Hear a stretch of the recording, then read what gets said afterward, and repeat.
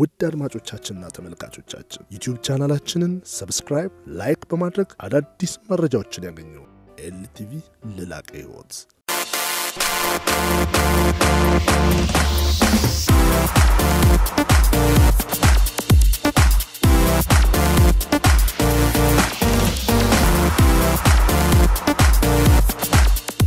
ሰላም ተመልካቾቼ፣ ቤተልሔም ነኝ።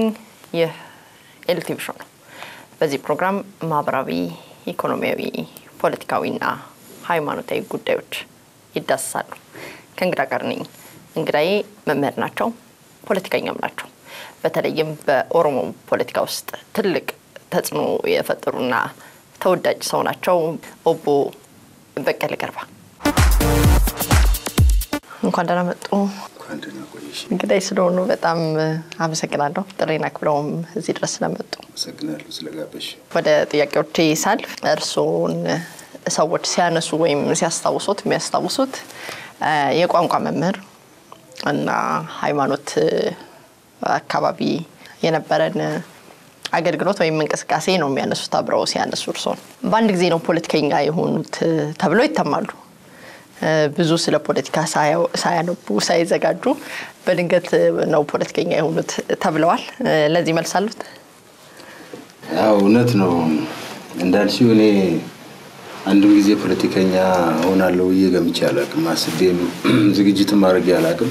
በሙያዬ ላይ ጥሩ ሙያተኛ ሆኜ ጥሩ መምህር ሆኜ ለመግፋትና በዛው ስራ ለመቀጠል ነበረ ዋናው አላማዬ። ነገር ግን በአካባቢ የማያቸው አንዳንድ ነገሮች አንዳንድ ጊዜ መታገስ ማየትና መታገስ ከሚችሉት በላይ የሚሆንበት ጊዜ አለና እና በተለይም በዚህ በአዲስ አበባ አካባቢ ያሉ ገበሬዎች ክፉኛ እየተፈናቀሉ በመጡበት ሰዓት አጋጣሚ ሆኖ ቤቴ ወደ አዳማ አዲስ አበባ ዩኒቨርሲቲ በሰራ የምኖረው አዳማ ነው እና ወደዛ በምመላለስበት ጊዜም ብዙ አጋጣሚዎች ነበሩ እና እነዚህን ነገሮች የማይበት እነዚህ ሰዎች የት ደረሱ የሚለው ጥያቄ ሁሌ ጥያቄ የሆንብኝ ነበር እና ዓይኔን ከፍቼ የበለጠ ማየት ስጀምር ደግሞ በተለይ መሬትን አስመልክቶ የሚደረገው ወረራ እጅግ በጣም አጸያፊና መታገስ ከሚችሉት በላይ ሆኖ ነው ያገኘሁት እና ስለዚህ አንድ ነገር ቢያንስ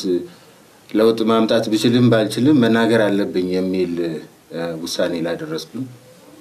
በአጋጣሚ ይህንን እንደወሰንኩ አንድ የፖለቲካ ድርጅት ጥሪ ያደረገልኝ እና ኦፌደን የሚባል ኦሮሞ ፌዴራላዊ ዲሞክራሲያዊ ንቅናቄ ጥሪ ያደረጉልኝ እና በቀጥታ ምንም ዝግጅት ሳላደርግ ብዙ ምክክር ሳያስፈልገኝ ቀጥታ ወደ ድርጅቱ ገባው ማለት ነው። እንደገባው ወዲያውኑ ወደ ስራ አስፈጻሚ ኮሚቴ አባልነት ተሸጋገርኩ።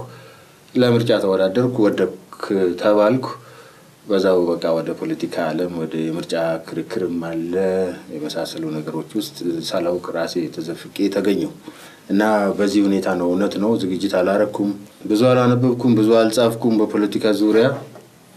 ነገር ግን የማየው እዚህ ያለና አሁን ያለን ነገር ልክ የሆነና ልክ ያልሆነን ነገር በአቅሜ መዝኜ ተገቢ አይደሉም የምላቸው ነገሮች መቃወም ጀመርኩ። በዚህ አይነት ሁኔታ ነው ወደ ፖለቲካ የገባሁት። ለነገሩ ብዙ ፖለቲካ ሰዎችም ብዙ አንብበው አይደለም ወደ ፖለቲካ የሚሄዱት፣ ግን ያው ፍላጎቱ ስላላቸው ነው። እኔ ግን ልዩ የሚያደርገው ፍላጎት ሳይኖረኝ ወደዛ መግባት ነበር ማለት ነው። ትክክል ነው ያነሳሽው ጥያቄ። ወደ ሌላ ጥያቄ ሳልፍ እርስዎ ኦሮሞ ኖት ወይስ ኢትዮጵያዊ ኖት? ኦሮሞም ኢትዮጵያዊም መሆንስ ይቻላል ወይ? ደግሞም ኢትዮጵያዊ ተብለን ሁላችንም የሚያቅፍ አንድነት አለ ብለው ያምናሉ ወይ? እኔ ኦሮሞ ብቻም አይደለሁ፣ ኢትዮጵያዊ ብቻም አይደለሁ። ብዙ መገለጫዎች አሉኝ፣ ብዙ ማንነቶች አሉኝ። በጾታ ወንድ ነኝ። ለምሳሌ በቁመት ብንሰለፍ ረጃጅም ከሚባሉት ውስጥ ነው፣ ዘለግ ካሉት ውስጥ ነው የምመደበው። በትምህርት ከሆነ ትንሽ ትምህርት ቀመስ ከሚባሉት ውስጥ እመደባለሁ። ያም ማንነቴ ነው። በሃይማኖት ከሆነ ክርስቲያን ነኝ። ያም ሌላ ማንነት ነው። በመልክ ከሆነ ጥቁር ነኝ፣ ነጭ አይደለሁም፣ ፈረንጅ አይደለሁም። እነዚህ ሁሉ መገለጫዎቼ ናቸው እና እነዚህ አሁን የጠቀስሻቸው ነገሮች ከነዛ ነገሮች ውስጥ አንድ ወይም ሁለት ናቸው። ጥሩ አልመለሱም በቀለ በግልጽ ለማስቀመጥ ሁላችንስ የሚያቅፍ አንድ ኢትዮጵያዊነት የሚባል ነገር አለ፣ ማንነት አለ። ያምናሉ ይሄን? ኢትዮጵያ የሚባል ማንነት አለ። ኦሮሞ የሚባል ማንነትም አለ። እንደነገርኩሽ እኔና አንቺ የተለያየ ጾታ ውስጥ ነው የምንወድቀው፣ ግን አብረን እንነጋገራለን፣ አብረን እንኖራለን። ወንድነቴ ከአንቺ ጋር ለመነጋገር አላገደኝም፣ አብሮ ለመኖርም አላገደኝም። ባለቤቴም ሴት ናት፣ ልጄም ሴት ናት፣ እናቴም እንደዛው ናት። አብረን እንኖራለን፣ ግን ማንነቴ ወንድ ነው። ወንድ ነኝ ብዬ መናገር የማንነቴ መገለጫ ነው። ኢትዮጵያዊ ነኝ ማለቴ ጋናዊ አይደለውም፣ ናይጄሪያዊ አይደለውም፣ ግብፃዊ፣ ሱዳናዊ አይደለውም፣ ኢትዮጵያዊ ነኝ። ከዛ ተመልሰን ስንመጣ ደግሞ ብሔር ወይም በብሔረሰብ በምንናገረው ቋንቋ ብንመደብ ደግሞ ኦሮሞ ነኝ። ስለዚህ እነዚህ የሚጣረሱ የማይግባቡ ነገሮችም አይደሉም። ሁለቱም ተያይዘው መሄድ የሚችሉ ከነዚህ ካሉን መልቲፕል አይደንቲቲዎች ወይንም ደግሞ በጣም ብዙ ዘርፍ ካላቸው መገለጫዎች አንዱ ነው። ስለዚህ ኦሮሞነቴና ኢትዮጵያዊነቴ እኩል ነው የሚሄደው። ችግርን ፈጥሮብኛ አቅም ለማለት ነው። እስቲ ወደ ወቅታዊ ጉዳይ ልመልሶት ነው። በቅርቡ የኦነግን ወደ አዲስ አበባ መግባት ተከትሎ ግጭቶች ተነስተው ነበረ። በኦሮሞ ሚዲያ ኔትወርክ ላይ ቀርበው የግጭቱ መቀስቀስ ተጠያቂ አድርገው ነበር። ግንቦት ሰባት በምን ምክንያት ነው እንደዛ የተናገሩት ነው? ግጭቶች በአብዛኛው ኢትዮጵያ ውስጥ እየተከሰቱ የመጡት ሀያላን ትላልቅ የሚባሉ የፖለቲካ ፓርቲዎች ወደ ሀገር ውስጥ መግባት ከጀመሩ ጊዜ መሆኑ አጠያቂ አይደለም። ሁሉም ሰው የሚያውቀው ይመስለኛል። ምንድን ነው የተፈጠረው? መጀመሪያ ያው ግንቦት ሰባት አስቀድሞ ገብተዋል። በገባበት ሰዓት አርማውን የትም ቦታ የመስቀል እና የማውለብለብ እድልም አግኝተዋል። አልተከለከለም ነበረ ይታወቃል። በየአደባባዮቹም አንዳንድ ጊዜ በግል መኖሪያ ቤቶች ብቻ ሳይሆን በአንዳንድ ድርጅቶችም ቤቶች ላይ ይሰቀል እንደነበረ ይታወቃል። ይሄ በእንዲህ እንዳለ ይሄ ነገር አልፎ አትስቀሉ የተባለ ነገር ስለመኖሩ አላውቅም። ያንን የከለከለ አካል አለመኖሩን ማውቅ አለሁ። ከዛ በኋላ ኦነግ ወደ አገር ውስጥ በሚገባበት ጊዜ ደግሞ ያንኑ ተመሳሳይ ያንኑ የሚመስል ድርጊት ተከናውኗል። የኦነግ ባንዲራ በየቦታው ተሰቅሏል። አንዳንድ ቦታ ይሄ የኦነግ አርማ እንዳይሰቀል የመከላከል አዝማሚያ እንደነበረ ይታወቃል። እ፣ ለመከላከልም ሙከራ ተደርጓል። በዚህ ምክንያት ግጭት አንዳንድ ቦታዎች ላይ እዚህ አዲስ አበባ ግጭቶች እንደተፈጠሩ ይታወቃል። ይህንን ያደርጉ የነበሩት ደግሞ እ፣ የግንቦት ሰባት ወደ ሀገር በሚመለስበት ጊዜ ያስተባበሩ የነበሩት ሰዎች መጥቶ የኦነግ አርማ በሚሰቀልበት ጊዜ ሊሰቀል አይገባም የሚል ተቃውሞ እንዳነሱ ይታወቃል። በምን ላይ ማስረጃዎትን ያቅርቡ እባክዎ። ማስረጃ ማለት አሁን ቦታውን ለመጥቀስ ያህል ነው። አይ የግንቦት ሰባት አባላቶች ባንዲራ እንዳይሰቀል የከለከሉበትን ማስረጃ እሱ እንዴት ነው? በየክልሉ በየክልሉ ብቻ ሳይሆን በየቀበሌው የግንቦት ሰባት አስተባባሪዎች የነበሩ ሰዎች ይታወቃሉ። አሁንም ይታወቃሉ፣ ዛሬም ይታወቃሉ ማለት ነው። ለምሳሌ ቦሌ አካባቢ ማንን ያስተባብር እንደነበረ ማን አርማ ይሰቅል እንደነበረ ይታወቃል። እና እዛ አካባቢ እዛው አካባቢ ለግንቦት ሰባት ሲያስተባብሩ የነበሩ ሰዎች የሌላን አርማ እንዳይሰቀል ያደረጉት እዛው አካባቢ ሲያስተባብሩ የነበሩ አቦ በቀለ ላቋርጦት ነው። እ፣ የድ- ድርጅቱ መሪዎች ወይም አስተባባሪዎች ናቸው ለማለት እንዴት ደፈሩ? ማንም ሰው ነው ያ- ያ ሁሉ ሰው ምናልባት የግንቦት ሰባትን ደግፎ ነው ወይ የወጣው? ያን ጊዜ ላይ እኛ እናውቅም። በምን እርግጠኛ ሆኑ? አንደኛው ገብቶኛል። ግን የግንቦት ሰባት አስተባባሪዎች ያስተካከልሽ እያ እኔ ስለ መውጣት ሰላማዊ ሰልፍ ስለ መውጣት አይደለም የምናወራ ወደዛ እየመጣው ነበር። ባንዲራ ስለ ወይንም ምንድን ነው አርማ ስለ መስቀል ነው። አርማ የሰቀሉ ሰዎች ከሜዳ ላይ መጥቶ አንቺ አርማ አልሰቀልሽም፣ ግንቦት ሰባት እኔ አልሰቀልኩ የድርጅቱ አባል አይደለንም። ምናልባት እኔ አይደለሁም፣ አስተባባሪም አይደለሁም። አስተባባሪ ሳይሆን ግን አርማ የሚሰቅል ሰው የለም። ስለዚህ እኛ የምናወራው አሁን ያኔ አርማ ሲሰቅሉ ስለነበሩ ሰዎች ነው እንጂ ሰልፍ ስለሚወጡ ወይም ከዛ በኋላ ስለተደረጉ ጉዳዮች አይደለም። ለማለት የፈለግኩት አርማዎችን በዚህ ሀገር እንግዲህ እርሶም እንደሚያውቁት ብዙ ሰው እንደዚህ አይነት ግርግሮች ሲኖር ይሳተፍበታል። ብድግ ብሎ ከመሬት ተነስቶ ይሄኛውን ብሎ ግጭት ሊቀሰቀስ ይችላል። ወይም ደግሞ ምንም በማያውቀው የፖለቲካ ግባቱ ምን እንደሆነ በማያውቀው እንቅስቃሴዎች ውስጥ እንደሚሳተፍ ይታወቃል። እና በምን ታወቀ የግንቦት ሰባት ሰዎች ለመስቀላቸው ወይም የግንቦት ሰባት ሰዎች ያንን ለማድረጋቸው ለእንቅስቃሴ ለማድረጋቸው በምን ታወቀ ለማለት ነበረ። አሁን ግልጽ ነው ማለት ነው። ግልጽ ነው። አሁንም መልሴ ተመሳሳይ ነው። ምክንያቱም የግንቦት ሰባት አባል ወይም ደጋፊ ሳይሆን የግንቦት ሰባትን አርማ የሚሰቅል ሰው አለ ካልሽኝ ይሄንን ለሚያዳምጠው ሕዝብ መተው ያስፈልጋል ፍርዱን። ምክንያቱም እንደተነጋገርነው ነው ኢትዮጵያ ውስጥ ወይንም አዲስ አበባ ውስጥ በብዙ ሚሊዮን የሚቆጠር ሰው አለ። ያ ሁሉ ሕዝብ አርማ አልሰቀለም። አርማ የሰቀሉት ለድርጅቱ ቅርበት ያላቸው ወይ ደጋፊዎች፣ አስተባባሪዎች ወይም አባላት ናቸው። ስለዚህ ከዚህ የበለጠ ከዚህ የተሻለ ይህንን መግለጽ እኔ የግንቦት ሰባት አባል ነኝ ብሎ መታወቂያ ይዞ ሄዶ የሚያሳይ ሰው አለና ያንን ነገር አሳየኝ እንደማትይ ተስፋ አድርጋለሁ።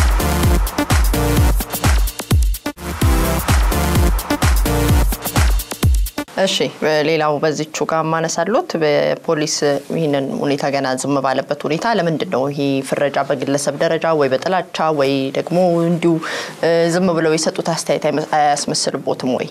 ምክንያቱም ፖሊስ ምንም እያለ አይደል። የፖሊስ ስራ ነው መመርመሩ ብዬ ነው። ትክክል ነው እሱ።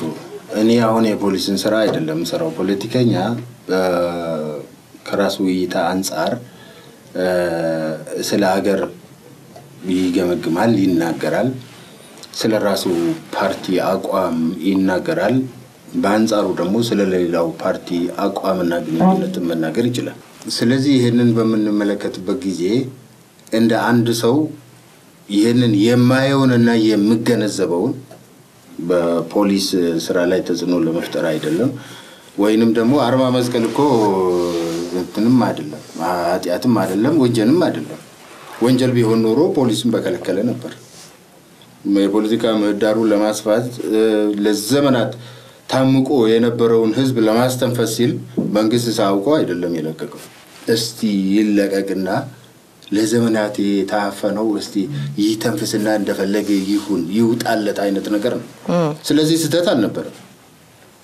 ስህተት የሚሆነው የእኔ ብቻ ይሰቀል ያንቺ መሰቀል አይገባውም የተባለ ጊዜ ነው። ወደ ሁከትም የሚወስደው እሱ ነው። ወደ ሁከት ከገባ ደግሞ አገር ነው፣ ስለ አገር ነው የምናወራው። አንዱ አገር እዚህ አዲስ አበባ ውስጥ ሁከት ተፈጥሮ እኔ ነፃ ነኝ ልትይ አትችይም። ወይንም ደግሞ እኔ በነፃነት እኖራለሁ እኔ በሰላም እኖራለሁ ማለት አይቻልም። የአዲስ አበባ መታወክ የሁላችንም መታወክ ነው። ሁላችንም ጤና ይነሳናል፣ ሰላም ይነሳናል። ስለዚህ በዚህ መተባበር፣ ስለዚህ መነጋገር ግዴታችን ነው። አንተ የራስህ እንዲሰቀል ያልተከለከልከውን ያህል ሌላው ቢሰቅለው ለምን ትከለክላለህ ነው። ምክንያቱም ይሄ ሰላማችንን ያፈርሳል፣ አያዋጣንም ነው። አንተ የተሰጠህ መብት ሌላውም ይገባዋል ነው። ያንን ካላደረግ ስህተት ነው። ወደ ሕግ አግባብ መመለስ ያስፈልጋል። የሌላው የራስን መብት የምትፈልገውን ያህል የሌላውንም ልታከብር ይገባል ነው። በዚህም መርዳት ያስፈልጋል፣ መናገር ያስፈልጋል። አግባብ አለመሆኑን ማስገንዘብ ያስፈልጋል። ከዚህ አንጻር ነው እንጂ ፖሊስ በፖሊስ ቦታ ሆኖ የምስክርነት ቃል ለመስጠት አይደለም። ፖሊስ በብዙ መረጃዎች የያዛቸው የራሱ አካሄዶች አሉት። ወደ ሌላ ጥያቄ እንደገና ላልፍ ነው። የኦሮሞ ታጋዮች እናንተ የተለያየ ፓርቲ ነበረ። አሁን አንድ ላይ ተቀይጣችኋል። እንዴት ልታደርጉ ነው? ስማችሁን ልትቀይሩ ነው ወይ? ኦነግ ሊባል ነው? ፌኮ ሊባል ነው? ምን ሊባል ነው? ትግሉ ወዴት ይሄዳል? ወደ መቀየጥም ደረጃ አልደረስንም። ነገር ግን intention ነው ያለው፣ አሁን ፍላጎት ነው ያለው። ለአንድ ዓላማ የቆመ ብዙ ፓርቲ መኖሩ አስፈላጊ አይደለም። የፖለቲካ ፕሮግራሞቻችን የሚመሳሰሉ ከሆነ የፖለቲካ ግቦቻችን የሚመሳሰሉ ከሆነ የምንቆመው ለአንድ ዓላማ ከሆነ የፓርቲ ዱፕሊኬሽን አያስፈልግም። ስለዚህ መጠጋጋትና ወደ ተመሳሳይነት መምጣት ያስፈልጋል፣ ወደ አንድነት ከተቻለ መምጣት ያስፈልጋል በሚል እሳቤ ነው። የፓርቲዎች አስር አስራ አምስት መሆን ምን ያስፈልጋል? እና በሀገር ደረጃም ሁሉ ሰው ፖለቲከኛ ሊሆን አይገባም። ሀገር ሁሉ ፖለቲካ ፓርቲ ሊሆን አይችልም። ስለዚህ ጥራት ያላቸው ጥቂት የፖለቲካ ፓርቲዎች ወደፊት ገፍተው እንዲመጡ ነው ሀሳቡ። ከዚህ በትንሹ ይጀመርና ከዛ በኋላ ከፍ እያደረግን እናምጣው፣ ወደ ላይ እናምጣው የሚል እሳቤ ነው። ስለዚህ ስሙ ያን ጊዜ ሊገለጽ ይችላል። በርዕዮት ደረጃስ አንድ አይነት ርዕዮት አላችሁ ሁላችሁ? አዎ እስካሁን ልዩ በአብዛኛው የኦሮሞ ፓርቲዎችን የምትወስጂ ከሆነ ዋናው የትግል ስልቱ ነው ልዩ ያደረገን የሚለያየን። እኛ ከመጀመሪያው ጀምሮ በሰላማዊ የፖለቲካ ትግል እናምናለን። ሌላው ደግሞ በሰላማዊ የፖለቲካ ትግል ተስፋ የቆረጠና በዚህ መንገድ ሞክሮ በፍጹም አይቻልም ብሎ ተስፋ በመቁረጥ ወደ ትጥቅ ትግል የገባ ነው። ስለዚህ አሁን ሁኔታዎች ይህንን የትግል ስልት ወደ ማመሳሰል መጥተዋል። መልካም ሁኔታ ተፈጥሮ የትጥቅ ትግሉን ይከተሉ የነበሩትም አሁን እርግፍ አድርገው ትተው የመሳሪያ ትግል እርም ብለው ወደ ሀገር ውስጥ ተመልሰዋል። ስለዚህ በፊትም የለያየን በአብዛኛው የርዕዮት ጉዳይ ሳይሆን የትግል ስልቱ ነው። ስለዚህ አሁን ትግል ስልቱ እየተመሳሰለ በሚመጣበት ጊዜ ብዙ ልዩነት የለም በመካከላችን። ትናንሽ ፕሮግራሞች በፖለቲካ ፕሮግራም ላይ ትናንሽ ጉዳዮች ቢኖሩ እነሱ በውይይት ሊፈቱ የሚችሉ እና እዚህ ግባ የሚባሉ ጉዳዮችም አይደሉም። ስለዚህ ብዙ የሚያሳስብ አይደለም የሚያሳስብ አይደለም። በቅርቡ ኦህዴድ በጅማ ያደረገውን ስብሰባ እንየው። በስብሰባ ላይ ንግግር አድርገዋል። ትንሽ አወዛጋቢ ነው ንግግሩ፣ በኦሮምኛ ነው። ከመግቢያው ጀምረው ሲገቡ ሰላምታም አላቀረቡም ነበር እንዳየሁት። ለጠቅላይ ሚኒስትሩም ለኦቦ ለማም እዛ ላሉትም በቀጥታ ወደ ንግግሮት ነው የገቡት። ንግግሮትን ሲያደርጉ ያሰረኝ መንግስት ፊት ቆሜ ነው የምናገረው ብለዋል። ምን ለማለት ፈልገው ነው? አዎ እንግዲህ በፖለቲካ ውስጥ የተለመዱ አንዳንድ ጊዜ ደግሞ አሰልቺ የሆኑ አቀራረቦች አሉ። ለምሳሌ የሚጋበዙ እንግዶች አይነት እጅግ በጣም ብዙ በሚሆንበት ጊዜ እያንዳንዱን የተጋባዥ ቡድን ሰላምታ ለማቅረብ ተብሎ የሚባክነው ጊዜ ከነዛ ተናጋሪዎች አንጻር እዛ ካሉት ፕሮግራሞች ብዛት አንጻር በምንመለከትበት ጊዜ ለየት ያለ አቀራረብ ሁሉ አስፈላጊ ነው ብዬ አምናለሁ። ጠቅላይ ሚኒስትሩን የተከበሩ ጠቅላይ ሚኒስትር እዛ በማለቴ ብቻ አይደለም ለሳቸው ያለኝ ክብር የሚገለጸው። ከልቤ ነው የማከብራቸው፣ አከብራቸዋለሁ። እዛ የተገኙ ሰዎችንም አከብራለሁ። ነገር ግን የተከበሩ ከሌ ከሌ የተከበረ ከሌ ከሌ እንደዚህ እያንዳንዱን በቡድን በቡድን በቡድን እየጠራን እያሰለቸን ህዝቡን እያደከምን ጊዜም እየፈጀን ሌላውን ሌላው ያለውን እየደገምን ያንን ነገር ብናደርግ ጥቅሙ ምን ያህል ነው በሚለው ነገር እኔ ያሳስበኛል እና ሌሎቹ ከኔ በፊትም ከኔ በኋላም ያሉ ሰዎች ብለዋል። ስለዚህ ቀርቤ ከፊታቸው ቀርቤ ሰላምታ በአካል ሰላምታ ሰጥቻቸዋለሁ። ከዛ በኋላ ከመላው ኢትዮጵያ ከመላው አገሪቱ ከመላው ኦሮሚያ ተሰብስባችሁ ለዚህ ጉባኤ የመጣችሁ በሙሉ ይሄ ማለት ሁሉም ያለበት ማለት ነው። በሚዲያም የምትከታተሉ ሁሉ ብዬ ሰላምታ ሰጥቻለሁ። ይሄ ምናልባት በኦሮምኛ ስለሚባል ብቻ አወዛጋቢ ያላልሰሙ ሰዎች አወዛጋቢ ሊሆን ይችላል፣ ግን መስማት ነበረባቸው። በፌዴራል ደረጃ ነበር ሰዎች የነበሩት። ሁሉንም ሰላም ማለት አይጠበቅቦትም። ልክ ነው። ግን ምናልባት በደርግ ጊዜ ቢሆን በኃይለ ሥላሴ ቢሆን ጊዜ ቢሆን ይሄ ነገር ሊያስገድድ ይችላል ከስርም በላይ ለሰዎቹ መንግስትን መናቅ ተደርጎ ይወሰድቦታል። በሌላው ዓለምም የሚሰራ ነው። ይሄ ጉዳይ ፕሬዚዳንት ቁጭ ብሎ ማንም ሰው ንግግሩን በዚህ ልክ የሚቀጥል አይመስለኝም። በቀጥታ የጻፈውን ወይም ደግሞ ሊናገር የፈለገውን የሚያደርግ አዲስ ነገር ለመፍጠር ብለው ነው እርሶ ከማሰልቸት ብለው ነው እንደ ንቀት ግን ተወስዶበታል። የኔ እንግዲህ አሁን የነገርኩሽ ነው። አድካሚ ነው፣ አሰልቺ ነው፣ ተደጋጋሚ ነው፣ ጊዜ ይፈጃል። ፕሮቶኮል አይደለም እና በዛ ፕሮቶኮል አይደለም? ፕሮቶኮል ነው፣ ግን ለየት ያለ አቀራረብም ይሄ አዲሱ ትውልድ አሁን በስልጣን ላይ ያለው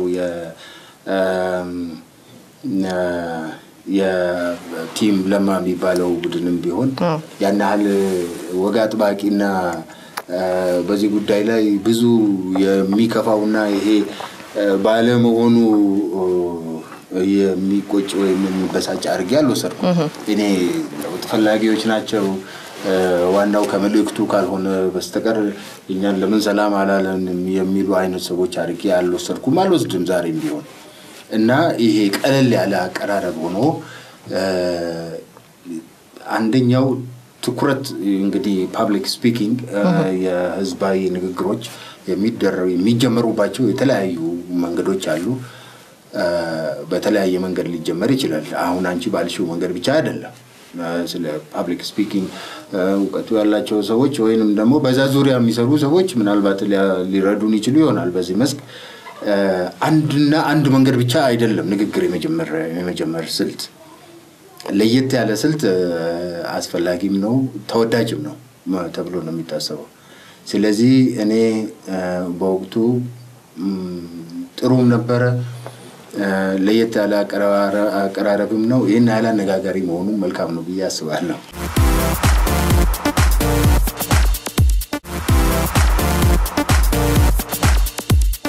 እሺ ወደ ሁለተኛው ጥያቄ ሳልፍ በአሰራዊ መንግስት ፊት ነው ቆምኩት ብለዋል።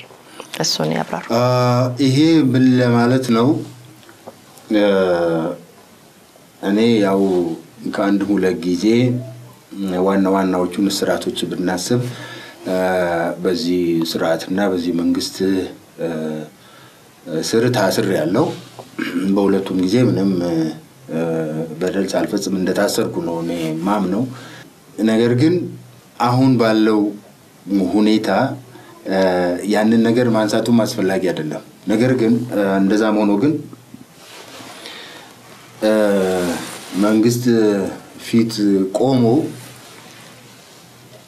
እውነት የሆነች ነገር እውነት የሆነች ነገር ሳያመለክቱ በደፈናው የትናንትናውን እንዳለ እርግፍ አድርጎ ትቶ ምንም ያልተፈጸመ ምንም በደል ያልተፈጸመ አድርጎ ጥፋተኛ እንደ ምንም እንዳላጠፋ ቆጥሮ ማለፍም አስፈላጊ ነው ብዬ አላመንኩም።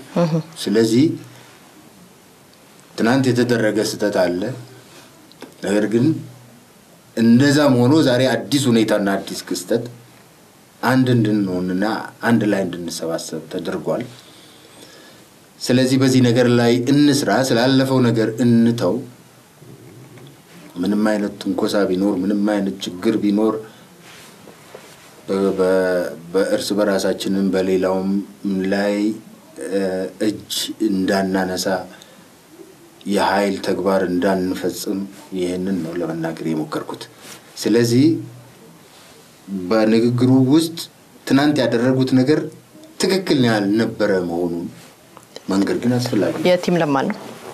የቲም ለማ ሳይሆን የስርዓቱ ነው፣ የፓርቲው ነው የፓርቲው ነው። የቲም ለማ አይደለም፣ የፓርቲው ነው። ፓርቲው በሙሉ ነው የተሰበሰበው በዛ ስፍራና እና እዛ ውስጥ ፓርቲው እጁ እንዳለበት ምንም አጠያቂ አይደለም። ስለዚህ ያንን መናገር አስፈላጊ ነው። እውነት መናገር ግድ ነው ብዬ ነው የማስበው። እርስዎ በስር ላይ በነበሩ ጊዜ ማዕከላዊ ኮሚቴ በኢህአዴግ ማዕከላዊ ኮሚቴ ላይ ስብሰባ ተደርጎ ነበር፣ አመታዊ ስብሰባ። በዛ አመታዊ ስብሰባ ላይ ኦህዴድ ማዕከላዊ ኮሚቴው የሞት ሽረት ትግል ማድረጉን ያውቃሉ? ሰምተዋል? እርስዎ እንዲፈቱ ማዕከላዊ ኮሚቴ ያንን ማድረጉን እውነት ለመናገር ከሆነ አላውቅም። ነገር ግን ከኦህዴድ አመራር ውስጥ የእኛ መታሰር ትክክል አለመሆኑን ለዚህ ሀገርም የማይበጅ መሆኑን ለዘላቂ ሰላምም መልካም አለመሆኑን የሚያውቁና እኔ ብቻ ሳልሆን ሌሎችም እንዲለቀቁ ትግል ሲያደርጉ የነበሩ ሰዎች ግን እንዳሉ አውቃለሁ። በማዕከላዊ ኮሚቴው ውስጥ በነበረው ስብሰባ ማዕከላዊ የኦህዴድ ማዕከላዊ ኮሚቴ ከፍተኛ የሞት ሽረት ትግል እንዳደረገ ይታወቃል። እስረኞች ለማስለቀቅ በሰዓቱ እርሶን ጨምሮ በዛ ጊዜ ላይ መንግስት ገና ጠቅላይ ሚኒስትር ኃይለማርያምም ከስልጣናቸው አለቀቁም ነበር። በዛ የነበረውን ነገር አለመስማቱ በጣም አስገራሚ ነው። እኔ መረጃው አለኝ በዛ የነበረውን እንቅስቃሴ ላይ እና ከወጡ በኋላ አልሰሙም። ይህ ትግል በማዕከላዊ ኮሚቴ ዋነኛ የነበሩት የአሁኑ ጠቅላይ ሚኒስትር ዶክተር አብይ አህመድ ነበሩ። የአሁኑ ጠቅላይ ሚኒስትርና የአሁኑ የኦሮሚያ ፕሬዚደንት እና ሌሎችንም ጥቂት ሰዎች ጨምሮ ስለ እኛ መፈታት እንድንፈታ ትግል ያደርጉ እንደነበረ በትክክል እናውቃለን። በትክክል አውቃለሁ። ታዲያ ለምን ያሰረኝ መንግስት ፊት አሉ? እነዚህ ሰዎች እኮ ያሰረኝ መንግስት ሲባል እኔ መንግስትን እንደ አንድ እንደ system ነው የማየው እንጂ የግለሰቦች አለ። መንግስት የሚባለው ምናልባት ኦህዴድ ብቻም አይደለም፣ ሌላውም አለ። ኦህዴድ እንድንለቀቅ አንዳንድ የኦህዴድ አመራሮች እንድንለቀቅ ትግል ያደርጉ የነበረውን ያህል ከሌላው የኢህአዴግ ክፍል ደግሞ እንዳንለቀቅ ከፍተኛ ትግል ሲያደርጉ የነበሩ መሆናቸውን እናውቃለን። ስለዚህ ይህንን እንደ መንግስት ነው። ሁለቱም ደግሞ መንግስት መስርተው አንድ ላይ ያሉ ናቸው። ስለዚህ ይህንን እንደ መንግስት ማሞገስም አስፈላጊ አይደለም፣ ትክክልም ነው ብዬ አላስብም። እንደ መንግስት ያንን የዚህን አሳሪ መንግስት አካል ሆኖ በመንግስትነት መንቀሳቀስ አንድ ነገር ነው። ነገር ግን እዛ ውስጥ ሆኖ ሌሎች እንዲፈቱና ፍትህ እንዲሰፍን ማድረግ ትግል ማድረግ ደግሞ የተለየ አቀራረብ ነው ብዬ ነው የማስበው። ስለዚህ እንደ መንግስት መልካም መንግስት ነበር ለማለት አልደፍርም። ትክክል ነው ብዬ አላምንም። እሱ መንግስት አሁን አለ ብለው ያምናሉ? እሱ መንግስት አሁን አለ ብዬ አላምንም። እሱ መንግስት ከሌለ የት ነው የቆሙት? የኦህዴድ ስብሰባ ጅማ ላይ ነው ያሉት። የነበሩት የኦህዴድ ሰዎች ነበሩ። የኦህዴድ ሰዎች ደግሞ እንደነገርኩት ለእርሶ እንደታገሉ እርሶም በጥቂቱ ያውቁታል እንደነገሩኝ ከሆነ። ስለዚህ ያ መንግስት ከሌለ ያለው የለውጡ እንቅስቃሴ ከሆነ እሱን መተቸት አይደለም ወይ? ቅድምም ደግሞ እንዳሉኝ ወደ መጀመሪያዎቹ ደቂቃ ላይ የባለፈውን መርሳት አንችልም፣ አሁን ጥሩ ነገር ቢመጣም ብለውኛል። የተባለው ምንድን ነው? ይህንን በትክክል መገንዘብ የሚያስፈልግ ይመስለኛል። ትናንት በአሰረኝ ፓርቲና መንግስት ፊት ቆሜ ነው ያልኩት። ዛሬ ስላለው መንግስት አይደለም የማወራው። አሁንም ሙሉ በሙሉ በእግሩ ቆሞ ከችግሮች ሁሉ ነፃ ሆኖ ለነፃነት፣ ለፍትህ፣ ለዲሞክራሲ የቆመ ነው ተብሎ ባይባልም ጅምሩ አለ። ትናንት ከነበረው የተሻለ አሰራር አለ። ተስፋ ሰጪ ነገር አለ። ጊዜ ሊሰጠው የሚችል ነገር አለ እና በዛ መሰረት ፖዚቲቭሊ ወይንም ደግሞ በአዎንታዊ ጎኑ ማየት ይቻላል የሚል ነው እንጂ አሁንም እኮ በኦህዴድም ይሁን በሌላው ኢህአዴግ አመራር ውስጥ ወይም አባላት ውስጥ ለውጡን የሚጎትቱ ብዙ እንዳሉ ይታወቃል። system ኡ እንዳለ ተቀይሯል ለማለት አይቻልም። ነገር ግን system ኡን ከበላይ ሆኖ እየዘወሩ ያሉ ሰዎች ተስፋ ሊጣልባቸው የሚችል ከትናንትናው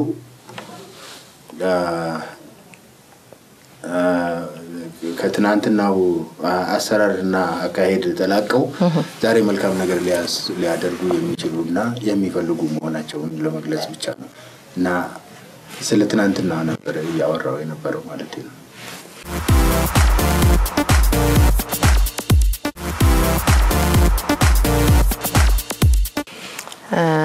መልካም። እስቲ በቅርቡ ወደ ነበረው መግለጫ እንመለስና ወቅታዊ ጉዳይ ላይ የሰጣችሁት መግለጫ ነበረ። መግለጫው አዲስ አበባንም ነክቷል እና አዲስ አበባ የማን እንደሆነችም አስታውሳችሁበታል። ነገር ግን አንዳንድ ቅሬታዎች ያሉት የለውጥ እንቅስቃሴው ገና እየተፍገመገመ ባለበትና ሀገር ባልተረጋጋችበት ሁኔታ ለምንድን ነው ይህንን ማንሳት ያስፈልጋችሁ የሚሉ ጥያቄዎች አሉና እሱን እንዲያብራሩ። አዎ ይህንን በሌላ ሚዲያ ገልጫለሁ። መግለጥ አስፈላጊ ይመስለኛል። ከመስከረም አምስት በኋላ ወይም ያን ሰሞን ተጀምሮ እስከ ዛሬ ድረስ እየቀጠለ ያለ አንድ ስራ አለ፣ አንድ አካሄድ አለ። ለምሳሌ ኦሮሞዎች በሚኖሩባቸው መኖሪያ ቤቶች ውስጥ የድንጋይ ውርጅብኝ የወረደባቸው ከቤት መውጣት የተሳናቸው ምናልባት አዲስ አበባ ውስጥ በመቶ ባይቆጠሩ ሀምሳ ስልሳ የሚሆኑ ቤቶች ነገም አደባባይ ወጥቶ ሊናገሩ የሚችሉ ጎረቤትም ሊናገርላቸው የሚችሉ ሰዎች መኖራቸው ግልጽ ነው። ኦሮሞ በመሆናቸው ብቻ ቤታቸው ድንጋይ የተወረወረባቸው ከቤት መውጣት ያልቻሉ ማለት ነው። የቤተሰቡ አባሎቻቸው ውጭ እስኪያድሩ ድረስ ማለት ነው። ሌላ የኦሮሞ ባህል ልብሶችን የሚሸጡ መደብሮች ተዘርፈዋል። አንዳንድ ጥቃት ተፈጽሞባቸዋል። ሶስተኛ እዚህ ከተማ ውስጥ በኦሮምኛ ቋንቋ ብቻ የሚያስተምሩ ትምህርት ቤቶች አሉ። እነዛ ትምህርት ቤቶች ላይ ጥቃት ተፈጽመዋል። አራተኛ የኦሮሚያ ታርጋ የለጠፉ ተሽከርካሪዎች ተሰባብረዋል። ብዙ ጥቃት ተፈጽሞባቸዋል። ከዛ በተጨማሪ ኦሮሚያ ኢንተርናሽናል ባንክ ተሰባብሯል፣ ጥቃት ተፈጽሞበታል። የኦሮምኛ ቋንቋ የሚናገሩ ሰዎች ደግሞ በጠራራ ፀሐይ ተደብድበዋል፣ ጥቃት ተፈጽሞባቸዋል። ይህንን ጠቅልል አድርገን ስንመለከት በኦሮሞና በኦሮሞና በማንነቱ ላይ ጥቃት እየተፈጸመ አለ የሚል ድምዳሜ ላይ ደርሰናል። ምክንያቱም ስፖራዲክ የሆነ ወይንም ደግሞ ወጥነት የሌለው ዝም ብሎ በተፈቀደ በስሜት አንድ አካባቢ የተፈጸመ ቢሆን ትክክል ነው። ይሄ ማንም ሰው የተናደደ በአንድ ኦሮሞ ላይ የተናደደ ሰው ሊያደርገው የሚችለው ነገር ነው። ምክንያቱም ያ ሰው ኦሮሞ ሊሆን ይችላል፣ ሌላም ሊሆን ይችላል፣ ምንም ሊሆን ይችላል። ነገር ግን እነዚህ ጥቃቶች ሆን ተብለው በማንነት ላይ ያነጣጠሩ ጥቃቶች ናቸው ብለን ስናበቃ እዚህ ላይ ሌላ ተጨማሪ ነገር መጣ። ሰላማዊ ሰልፍ ተደርጎ ሰላማዊ ሰልፉ ላይ የአንድ ድርጅት አርማ ተይዞ ኦሮሚያ መስሪያ ቤቶች ላይ ጥቃት ለመፈጸም ሙከራ ተደርጎ እዛ ላይ ደግሞ ኦሮሚያ መስሪያ ቤቶች ከአዲስ አበባ ይውጡ፣ ኦሮሞ ከአዲስ አበባ ይውጣ የሚል መፈክር በአደባባይ ተሰምቷል። ስለዚህ እነዚህ ሁሉ እየሰሙ እንዳልሰሙ ማለት ማለፍ ተገቢ አይደለም የሚል ነገር ነው የተሰማል። ስለዚህ ምንድን ነው የተባለው? ኦሮሚያ ማነው አዲስ አበባን ወደኋላ መለስ ብለን ብናይ ምን ነበረች? ምን ነበረች? የዛሬ ቅርጿን ሳትይዝ በፊት የዛሬ መቶ ዓመት መቶ ሀያ ወይም መቶ ሰላሳ ዓመት አዲስ አበባ ምን ነበረች? የማን መኖሪያ ነበረች? የሚለውን ነገር ማስገንዘብ አስፈላጊ ሆኖ ታየ። ስለዚህ እንደውም ኦሮሞ ከዚህ ከተማ ይውጣ የምትሉት ይሄ ከተማ እኮ የጥንት የኦሮሞዎች መኖሪያ የነበረ ስፍራ ነው። ይሄ ዛሬ ያለውም ሰው ነገ ያለውም ሰው ሊያውቅ ይገባል፣ ሊሰማው ይገባል የሚል እምነት ነው ያደረብን። ትክክልም ነው ብዬ አምናለሁ። አሁንም ቢሆን ማለት ነው። ሊያውቅ ወቅቱን ይገባል። ለምን በዚህ ማን ወቅት ነው ተጠቀማችሁ? ሊወጣ የሚችል ማን ነው? ይውጣ ሊልስ የሚችለው ማን ነው ብሎ መናገር አስፈላጊ ነው። ይውጣ ኦሮሞ ከአዲስ አበባ ይውጣ ማለት ምን ማለት ነው?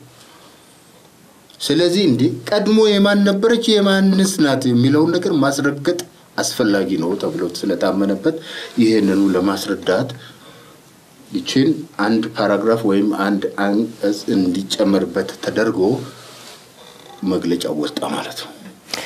መግለጫው ላይ የዚህ የአዲስ አበባ ጉዳይ በጣም ሴንሲቲቭ ጉዳይ እንደሆነ ይታወቃል እና ሁሉም የኔ ነው የሚሉ ጥያቄዎችን እንደሚያነሱ እርሶም ያውቃሉ። ነዋሪው የኔ ነው ይላል። ሌላም ሌላም ነገሮች ይነሳሉ እና ከጊዜው አንጻር ግን በተለይ ይሄ የለውጡ አካል ገና እየተውተረተረ ባለበት ሁኔታ ለምንድን ነው የተነሳው እና እናንተስ ከጀርባ ከለውጡ ጠላቶች ጋር ለውጠኞቹን ከጀርባ እየወጋችሁ ነው በሚያስብላችሁ ደረጃ ለምን ይህን ስራ ሰራችሁ ነው ቅሬታው። ይሄ ነገር አሁን ሊታወቅ የሚገባው ከለውጡ ጋር ምንም የሚያገናኝ ነገር የለው። ጊዜው ያመጣው ነገር ነው። ይሄ ጊዜ እንዲመጣና ይሄ ትንኮሳ እንዲመጣ ያደረገ ደግሞ አለ ባዮች ነን እኛ። ይውጣ ማለት respond እንዲያደርግ ነው፣ መልስ እንዲሰጥ ነው። ኦሮሞ መልስ እንዲሰጥ ተፈልጎ ነው። ይውጣ ከአንተ አንቺ ቤተሰቦችሽ፣ እናት አባትሽ፣ አያቶችሽ አቆዩልሽ ቤት ውስጥ አንድ ሰው መጥቶ ውጪ ከዚህ ብትባይ ምን ልትይ እንደምትችይ መገመት ያስፈልጋል። ይህንን ሰው ላይ ሲደርስ ሳይሆን በራሳችን ላይ ደርሶ ብናየው ምን ልንሆን እንደምንችል ማሰብ ያስፈልጋል። ይሄ የጥንት ኦሮሞዎች መኖሪያ የነበረ ስፍራ ነው። ስለዚህ ኦሮሞ ከዚህ ውጣ ሊባል የሚገባው አይደለም ነው ባጭው። ስለዚህ ይህንን ያስነሳው ማን ነው? ማን ነው? መፈክሩን ይዞ የወጣው መፈክሩን አስይዞ ያስወጣው ክፍል ነው። ማን ነው? ይሄ ያውቀዋል፣ ተመልካቾቼ ያው ስለማያውቁት እኔም አላውቀውም። ምክንያቱም አርማ ነበረው። አድማጮች፣ ሰላማዊ ሰልፈኞቹ አርማ ይዘዋል። አርማውን ማን እንደሚይዘው ይታወቃል። ከአርማው ጋር የተያያዙ ከዛ በፊት የተነገሩ ንግግሮችም አሉ። ባንኮች በዘር ተደራጅተዋል። ትምህርት ቤቶች በዘር ላይ ተመስርተው እየተሰሩ ነው። ስለዚህ ይህንን ልንታገለው ይገባል የሚሉ በዛን ሰሞን እንዲህ አይነት ፕሮፓጋንዳ ነበረ። አስፈላጊ ከሆነ ይሄም የሚወጣ ነው ማለት ነው። ወደፊት ሁሉን ነገር መናገር አስፈላጊ ባለመሆኑ ነው። እከሌ ነው የተናገረው ማለት አስፈላጊ ባለመሆኑ ነው። ተናገር ካልሽ ልናገረው ይችላሉ። ይናገሩ። ምክንያቱም ይሄ ፕሮግራም ምንም የማንፈራበት ነገሮችን ወደ አደባባይ የምናመጣበት በዚህም ወደ አደባባይ በመምጣቱም ሊመጣ ያሉትን ነገሮች ሁሉ ልንቀበል የተዘጋጀንበት ስለሆነ ይናገሩ። ላይ አሁን እዚህ ማስረጃ መሆን አልፈልግም። ምክንያቱም ይሄ በማስረጃነት ሊቀርብ የሚችል ነገር ስለሆነ ማለት ነው። አንድ ቀን ይሄ ከተማ ወይም ይሄ ሀገር ወደ ሌላ ችግር ወደ ከፋ ችግር አይበለውና የሚሄድ ከሆነ እነዚህ ነገሮች ሁሉ ተደማምረው እየ- እየተገነቡ የመጡ ነገሮች ከየት መጥተው የት እንደደረሱ ማፈላለግና ስራቸውን ማግኘት አስፈላጊ ይሆናል። ስለዚህ ይሄ በዛን ሰዓት ይፋ መሆኑ ግድ ነው። ነገር ግን ህዝብ ተሰብስቦ ትምህርት ቤቶች በዘር ላይ ባንኮች በዘር ላይ ተመስርተዋል ተብሎ ሁለት ቀን ሳይሞላ ትምህርት ቤቶችም ላይ ባንኮችም ላይ ጥቃት ተፈጽሟል። ስለዚህ ተንኳሹ ማን ነው ማን ነው ይህንን የጀመረው የሚለው ነገር አሁንም ብናቆየው መልካም ነው።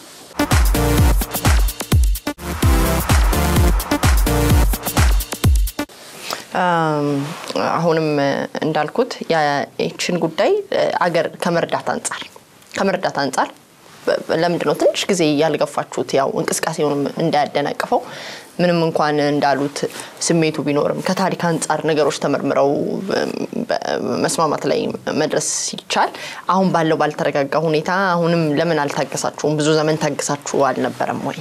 ጥቃት እየተፈጸመ አሁንም ትምህርት ቤቶች እየተሰበሩ አሁንም ተሽከርካሪዎች እየተሰበሩ አሁንም ሰዎች በቋንቋቸው ከተማ ውስጥ ቋንቋቸውን በቋንቋቸው እየተግባቡ መሄድ በማይችሉበት ሁኔታ አሁንም ኦሮሞ ከከተማው ይውጣ እየተባለ ባለበት ሁኔታ ከዚህ በላይ ታገሱ ማለት ተዉ ማለት ነው። እንደዚህ አይነት ፍትህ የዘገየች ፍትህ እንደ ጠፋች ትቆጠራለች እና መታወቅ አለበት። ይሄ መታወቅ አለበት። ለማሳወቅ ነው ለማስጠንቀቅ ነው ማ- ማስጠንቀቅ አይደለም። ምክንያቱም ማንም ማንን የማስጠንቀቅ አቅም የለውም፣ አስፈላጊም አይደለም አስፈላጊም አይደለም። ግን እውነቱን መረዳዳት ያስፈልጋል። እውነቱን መረዳዳት ያስፈልጋል። እውነቱ እንዲታወቅ ብቻ ነው እንጂ ማንም ማንንም ማስፈራራት የሚችልበት ሁኔታም አይደለም፣ አስፈላጊም አይደለም። ግን ማወቅ ጥሩ ከስር እንደተፈቱ ወደ አሜሪካ ባቀኑበት ሁኔታ እ፣ ልሙጥን ባንዲራ ህገ መንግስቱ አይፈቅደውም ማለቱ ይታወሳል። እስቲ ለህገ መንግስቱ ያሉትን ነገር ይንገሩኝ። ምን ህገ መንግስቱን አንቺም ያነበብሽ ነው፣ እኔ የማውቀው ነው፣ ኢትዮጵያም ህዝብ የሚያውቀው ነው። ኢትዮጵያ ህዝብ ባንዲራ፣ ሰንደቅ ዓላማ የሚል ሰንደቅ ዓላማው ቀለሙ ምን እንደሆነ፣ ወርዱ ምን ያህል እንደሆነ፣ ቁመቱ ምን ያህል እንደሆነ፣ ቀለሙ ምን ያህል እንደሆነ፣ መደቡ ምን እንደሆነ ግልጽ ተቀምጧል።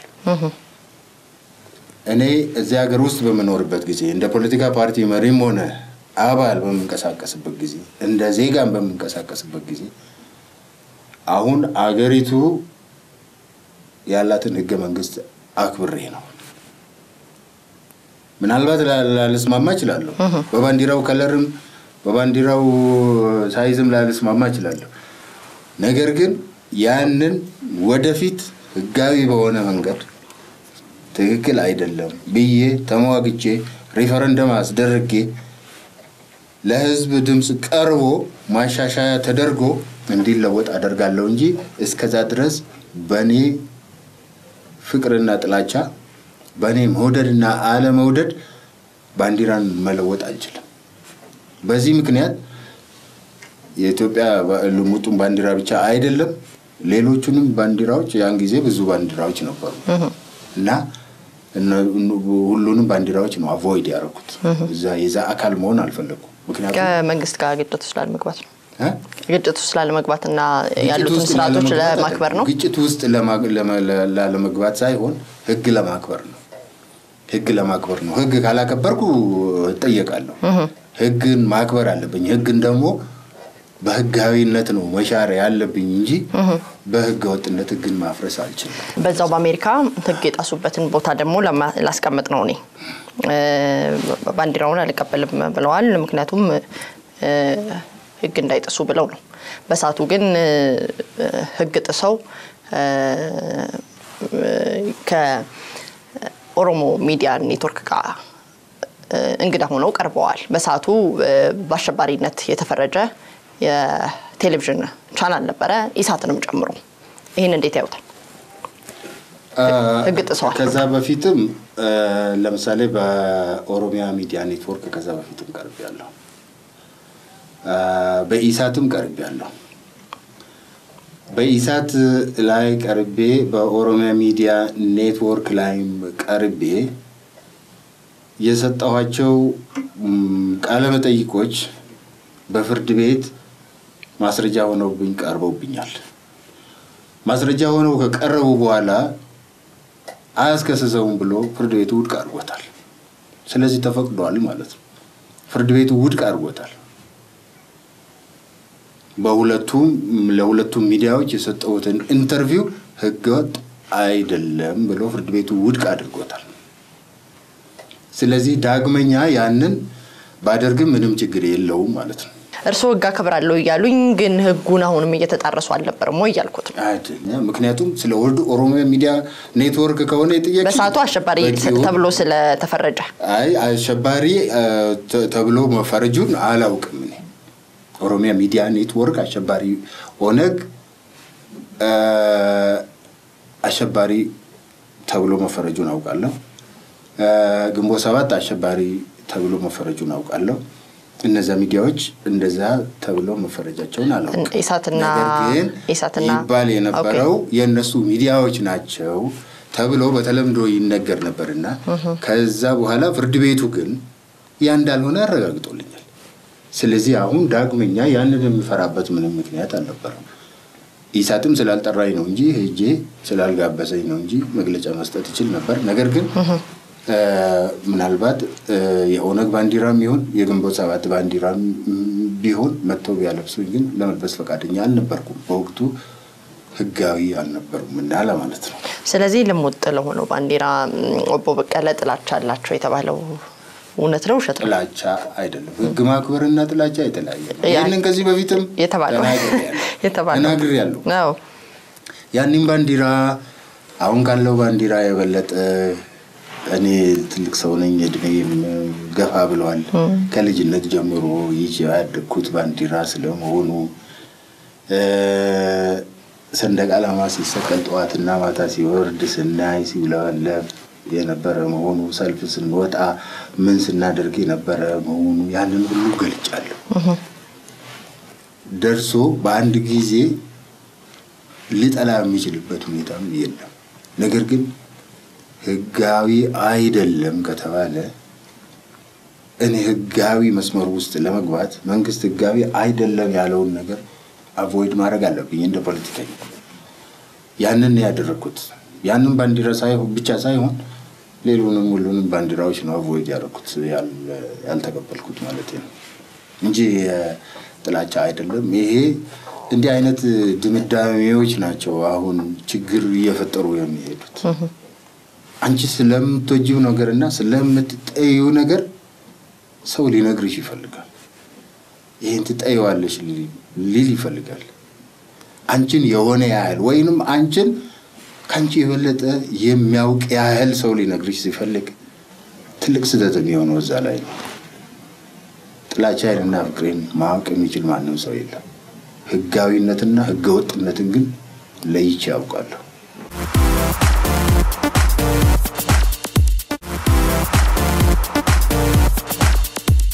የቲም ለማ ስብስብ የሚባለውን እንዴት ያውታል?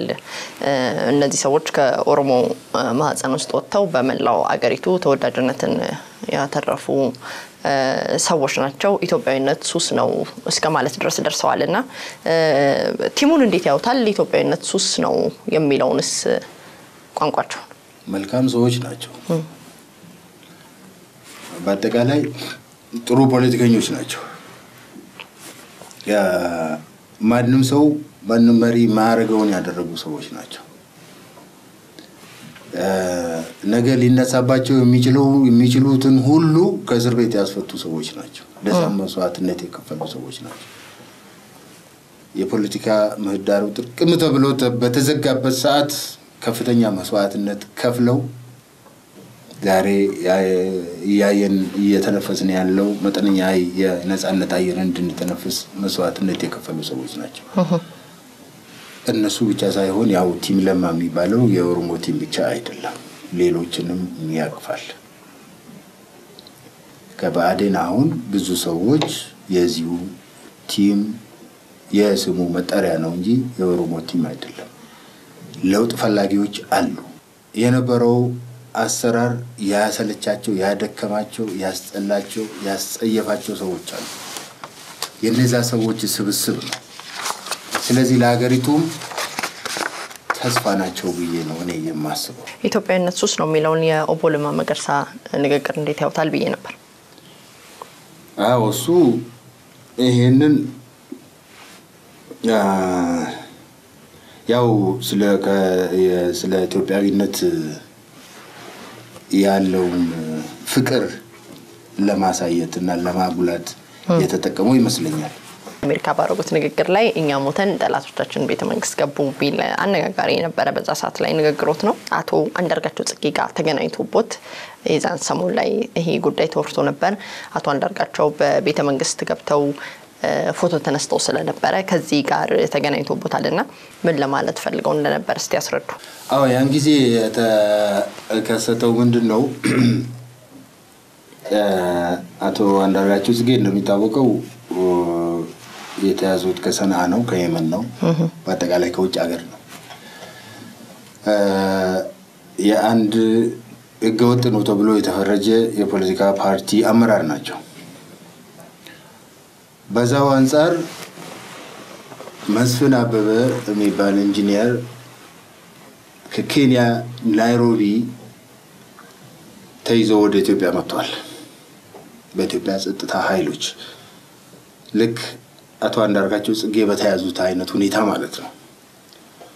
ይህ ሰው ማንም በማያውቀው ስፍራ ለረጅም ዓመት ታስሯል። ከዛ በኋላ የሞት ፍርድ ተፈርዶበት እሱም የህገወጥ ነው የተባለ ፖለቲካ ፓርቲ አባልና መካከለኛ አመራር ነው። እንደውም ከፍተኛ አመራርም አይደለም። እና እንግዲህ ሁለቱን ሰዎች የሚያመሳስላቸው ነገር አለ። አንድ ከውጭ ሀገር መያዛቸው፣ ሁለት ህገወጥ የተባሉ ፖለቲካ ፓርቲ አመራሮች መሆናቸው፣ ሶስት እሳቸውም ከፍተኛ ፍርደኛ መሆናቸው እና ይሄኛው ደግሞ እንደውም ሞት ፍርደኛ መሆኑ። እዛ ላይ በተጨማሪ ደግሞ ሁለቱም solitary confinement ውስጥ የነበሩ መሆናቸው። ኢንጂነር መስፍን አበበ ከአቶ አንዳርጋቸው ጽጌ ቀደም ብሎ የታሰረ መሆኑ።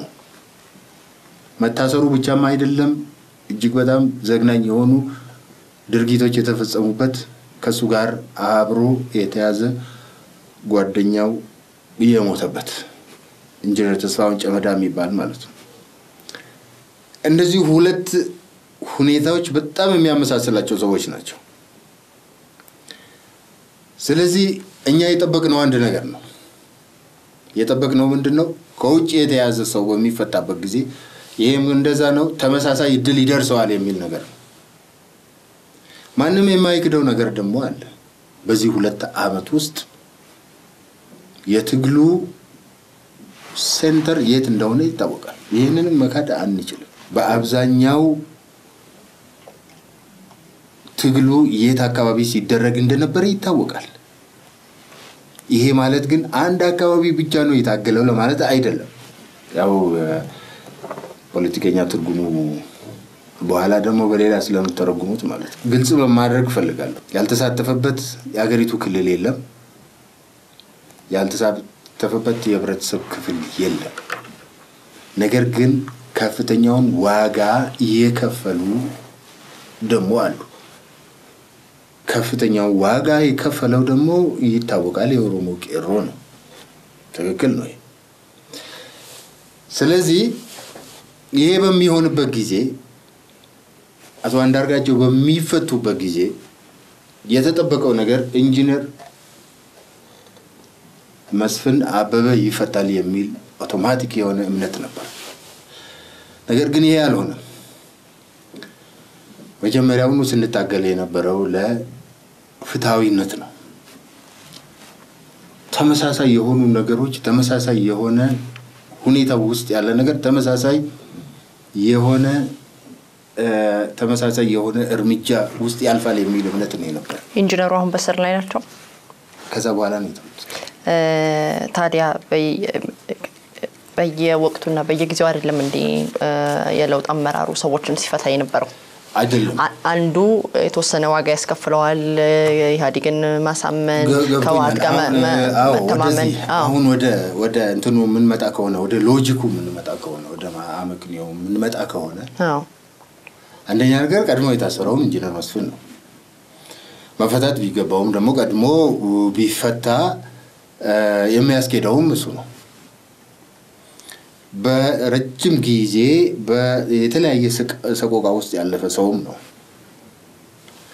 ስለዚህ ለምን በአንድ አይን መታየት? የእነዚህ ሰዎች ልዩነት የብሔር ልዩነታቸው ብቻ ነው። ስለዚህ አሁንም ፍትሐዊነት ተዛብቷል ተዛብቷል መሆን አልነበረበትም የሚል በወቅቱ በጠቅላይ ሚኒስትሩ ላይ የቀረበ ትችት ነው። በባህላችን ያው ነው ወደ ሀገራቸው ሊሄዱ ስለነበረ እየተሸኙ ነው ብሎ በቅንነት ነገሮችን ማሰብ አይቻልም ወይ? እኛ በተጋደል ነው ጠላቶቻችን ቤተ መንግስት ገቡ የሚል ንግግር ከመናገር በዛ ላይ ደግሞ የኦሮሞስ ትግል ሰዎችን ቤተ መንግስት አስገብቶ ፎቶ ለማስነሳት ነው ወይ? ቄሮስ የተጋደለው የኦሮሞ ሙቭመንትም የተነሳው ሰዎች እንዲቀቡ ገብቶ ፎቶ ይነሱ አይደለም። አሁንም እንደዚህ እያልን ጸጉር እየሰነጠቅን ነገሮችን ወደ እንትን ባንወስድ ደስ ይለኛል። ምክንያቱም ለምን የወሮ የኢንጂነር መስፍን እዛ ውስጥ ሄዶ ፎቶግራፍ ከጠቅላይ ሚኒስትሩ ጋር አልተነሳም አይደለም። በአጠቃላይ ፍትሐዊነት ተዛብተዋል ነው፣ ፌርነስ ጠፍቷል ነው። ለፌርነስ ነው የታገል ነው፣ ለፍትሐዊነት ነው የታገል ነው። የታገልንለት ፍትሐዊነት ተግባራዊ አልሆነም። አሁንም አዲስ አመራር መጣ እየተባልን ነገር ግን አዲሱም አመራር ይህንን ሳይገነዘበው አልፎታል። ለማስታወስም ያህል ነው እንጂ ከግለሰቦች መታሰርና ከግለሰቦች መፈታት ጋር የተያያዘ ነገር አይደለም። ነገር ግን ይህንን ሁለቱን ጎን ጎን ጎን ለጎን ማስተያየት ለፍርድ እንዲያመች ተብሎ ነው እና እነዚህ ማወዳደርና ማሳየት ፍትህን ለማሳየት ስለሚጠቅም ነው እንጂ የማንም ሰው መፈታት ከዛ በፊት የተፈቱ ብዙ ሰዎች አሉ። ከዛ በኋላም የተፈቱ ብዙ ሰዎች አሉ። የግለሰቦችን መፈታትና ለመፈታት አይደለም። ነገር ግን ሲፈቱ ፍትሐዊ በሆነ መንገድ መሆን አለበት። ሰዎች ሲቀሩ የተወሰነ መመዘኛ ኖሮ ቅርታ ምኑም መሆን አለበት በሚል ግምት ነው እንጂ ያን ጊዜ ተወስዶ እንደተራገበውና እንደተናፈሰው አይደለም። እኔ ጥያቄዎችን በሙሉ ጨርሻለሁ። ያው ቴሌቪዥን ጣቢያችሁን በጣም አክብራለሁ፣ በጣም አመሰግናለሁ። ጥያቄዎቹም በእውነት እንትን የሚሰጡ ናቸው እና ለማንኛውም ሰው ግልጽ የሆነ አመለካከት እንዲንጸባረቅ የሚያደርጉ ስለሆነ ነፃም ስለሆኑ በጣም በቅድሚያም ጥያቄ አትሰጡም፣ ምን እንደምትጠይቁም ፍንጭ አትሰጡም። ስለዚህ እንዲህ አይነት አቀራረባችሁ በጣም ጥሩ ነው። አገርን የሚገነባውም ነፃ የሆኑ የሚዲያ አካላት ሲኖሩ ነው። ያን ጊዜ እውነትና እውነት ያልሆነ ነገር እየተጣራና እየታወቀ ሄዶ ህዝቡም ምን እንደሚከተልና ምን መከተል እንደሌለበት ሊያውቅ እድል ስለሚያገኝ እንዲህ አይነት ሚዲያዎች መኖራቸው በጣም ጥሩ ነው ብዬ አስባለሁ። በጣም እግዚአብሔር ያክብርልኝ። አመሰግናለሁ ለማለት እወዳለሁ። አመሰግናለሁ በጣም። እሺ ተመልካቾቼ ፕሮግራሜን በዚህ ጨርሻለሁ። ሳምንት በሌላ ፕሮግራም በሌላ እንግዳ እስከምንገናኝ በያላችሁበት ጤና ይስጥልኝ።